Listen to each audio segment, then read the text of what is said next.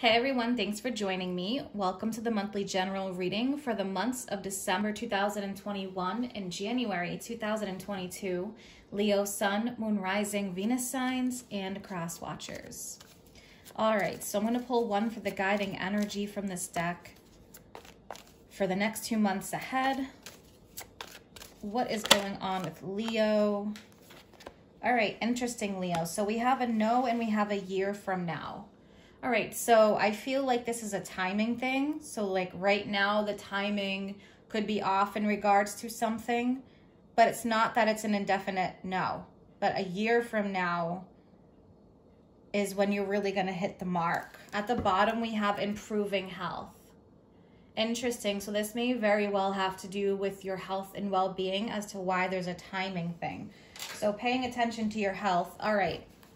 I'm going to pull one for December 2021. And then I'm going to pull one for January from this deck. What do we have for December for Leo, please?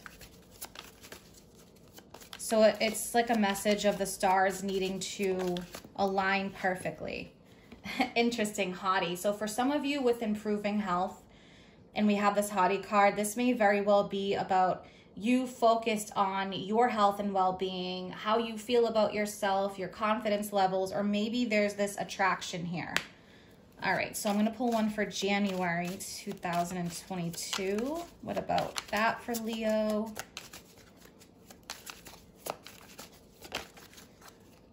Wow, so this is a lot about um, looks and health and well-being and confidence. We have beauty yeah, so for some of you, improving health, maybe you feel as though you got off track. And if this is involving somebody else, you know, maybe they're feeling this way. Okay, so, but, you know, just not putting it out there. All right, so we have a lot about confidence levels and health and well being.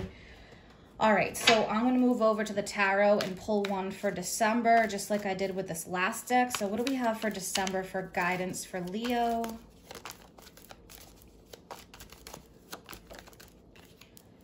Eight of Cups. Yeah, so whatever isn't serving you, we have you moving towards something that is better for you emotionally.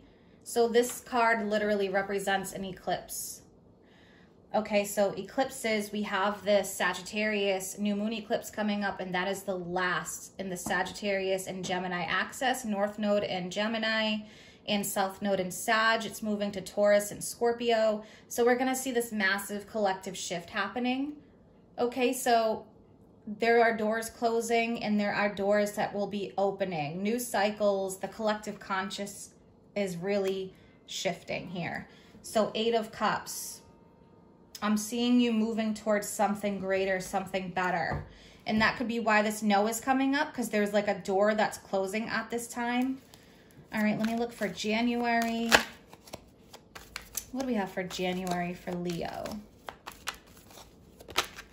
Okay, yeah. So we have Ace of Pentacles. So this new venture that you have coming up, this can be the beginning stages. So this can be like a new project, new business, whatever this may entail, even if it's a relationship or something that you want to build for yourself, like, you know, if this was moving per se, right? Maybe you're moving in the next year. We have the Eight of Cups, we have the Ace of Pentacles.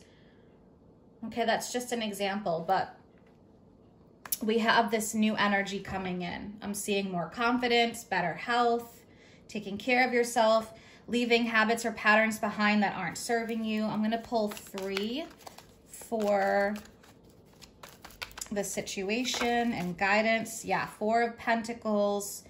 So that can be about things that you're holding on to that are blocking your success and happiness. The pentacle on the head is like blocking the connection with spirit. Um, for some of you, it can be about needing to conserve a little bit more or be conservative with money and finances as you're building this future for yourself. So like if there was a business deal that wasn't working out right now, for example, it's because there's something better. But I really do see this as like health, especially. All right, so yeah, and it could be emotional and mental health.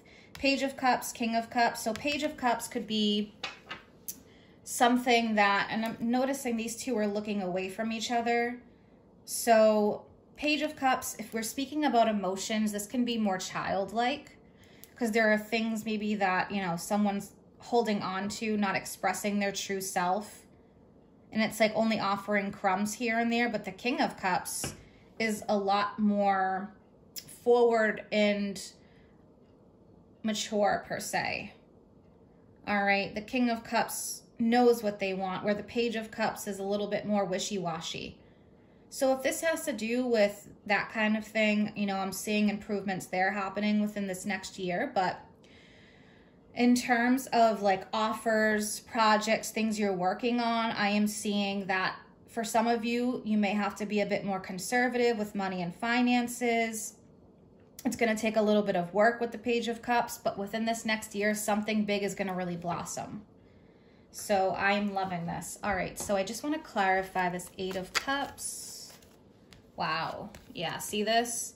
Temperance, the moon, the star, ten of swords, nine of swords. So yeah, something here, it may feel stressful because like you're feeling that something is ending or like a cycle is closing out, but nine of swords is unnecessary worry and fear. So don't stress yourself. Everything's going to work out perfectly. You may not be able to see the whole picture now right at this moment with the moon, you don't have all the answers, but the star is saying stay optimistic. and temperance, everything is being worked out perfectly by spirit.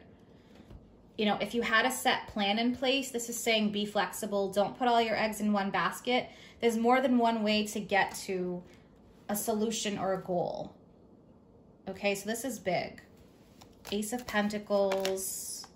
Wow, that Page of Cups keeps coming out. Page of Cups can also be like, listen, use your intuition. Don't let that get clouded with logic and fear. Okay? Yeah, logic and fear, right? Two of Swords. There may be a party coming in here, someone that you meet that also can be really great assistance to you, a friend or something like that, soul tribe. All right, so I'm to pull some oracle cards now. I feel satisfied with what's here. I'm to pull one from Wisdom of the Oracle. Wow, mending. Yeah, see? Mending health, mending relationships, improving those things. So we have mending. This could be like rebuilding your life. Lots of healing energy there. I love that. Go the distance. Don't give up. This is all about endurance. Having endurance, it's the long term rather than short term. So rushing isn't going to be good for you right now.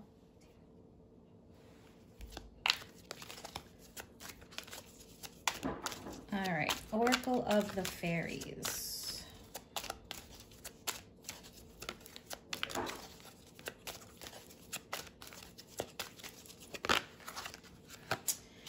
Okay, so two important energies here. And look at this moon energy. This is exactly what came out here. So the moon is going to be very important. Paying attention to the cycles, the eclipses, the lunar, lunar nodes I was mentioning, switching into Taurus and Scorpio. Surrender to the natural ebb and flow of life. If you're feeling confused, this fairy comes to calm emotions and reassure you that peace of mind is possible. So important. Music, listen carefully, for there may be a message in the music you hear. Music can lift your soul, rekindle memories, and charm fairies to your door. So important here. And I'm going to close this reading up with two cards from this love deck. All right. A couple cards here. The butterfly, wow, yeah, evolving. Okay, perfect. So relationship evolving to the next phase, healing the inner child and growth. So important. Sword in the rose, clarity, truth, revelation, solidarity, force, honor, protection, power. And look at this progression receiving what you need, progression, arriving, moving on, closure issues. So important. So much healing, mending, new beginnings coming up. I love this energy, Leo. I hope that you enjoyed this reading. And if it resonates with you, definitely let me know. If you're interested in any of my services or you want to follow me on Facebook or Instagram, all that information is posted in the description box below. Take care.